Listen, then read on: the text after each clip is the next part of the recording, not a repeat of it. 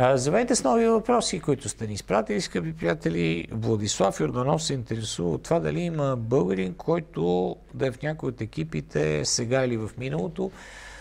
Ами, мисля, че има доста българи в екипите от Формула 1. Аз поне знам за двама души, които са в доста водещи позиции в Макларан, в Red Bull, които се занимават пряко с конструирането на, на автомобилите.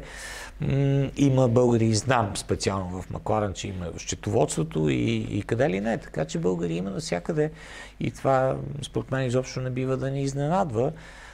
Просто, може би, нямаме така изявен главен конструктор в някой от, от отборите, за да знаем по, повече за, за него самия, но пак казвам, има българи и те вършат прекрасна работа. Има българи в самите автомобилни компании, доста известни дизайнери вече имаме на автомобили, така че това също според мен е напълно разбираемо. Благодаря за въпроса, ще бъдем отново заедно скоро.